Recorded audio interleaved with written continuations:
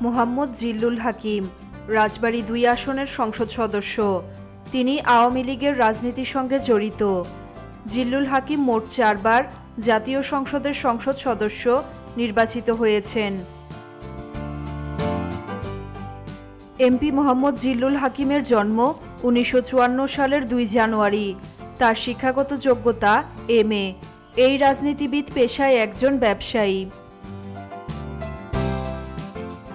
Wikipedia ও বিভিন্ন গণমাধ্যমের তথ্য বলছে, এমপি জিল্লুল হাকিমের পৈতৃক বাড়ি রাজবাড়ী জেলার পাংশা উপজেলার নারায়ণপুর গ্রামে। তিনি স্নাতকোত্তর পাশ করেছেন।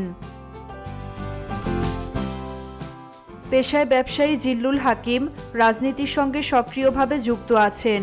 তিনি দীর্ঘদিন জেলা আওয়ামী লীগের সভাপতি হিসেবে দায়িত্ব পালন করেছেন।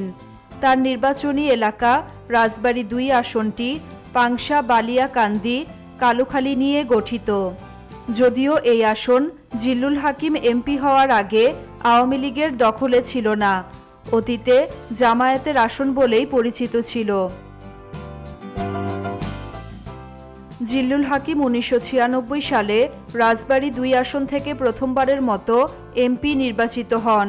তার আগে থেকেই এই তিন উপজেলার প্রতিটি ওয়ার্ড আওয়ামী লীগের নেতাকর্মীদের নিয়ে দলকে সুসংগঠিত করেন, যার ফলে এ নির্বাচনে বিপুল ভোটে জয়ী হন জিল্লুল হাকিম। তবে দুই হাজার এক সালের নির্বাচনে জিল্লুল হাকিম পরাজিত হন বিএনপি সমর্থিত প্রার্থীর কাছে। দুই হাজার সাত সালে তত্ত্বাবধায়ক সরকারের আমলে রাজবাড়ী জেলা থেকে বঙ্গবন্ধু কন্যা শেখ হাসিনার মুক্তির আন্দোলনে সক্রিয় অবস্থান নেন জিল্লুল হাকিম। এরপর নবম জাতীয় সংসদ নির্বাচনে বিপুল ভোটে বিজয়ী হন তিনি। দশম ও একাদশ জাতীয় সংসদ নির্বাচনেও তিনি সাংসদ নির্বাচিত হন। জিল্লুল হাকিম জেলা আওয়ামী লীগকে শক্তিশালী ও সুসংগঠিত করতে এখনও কাজ করে যাচ্ছেন।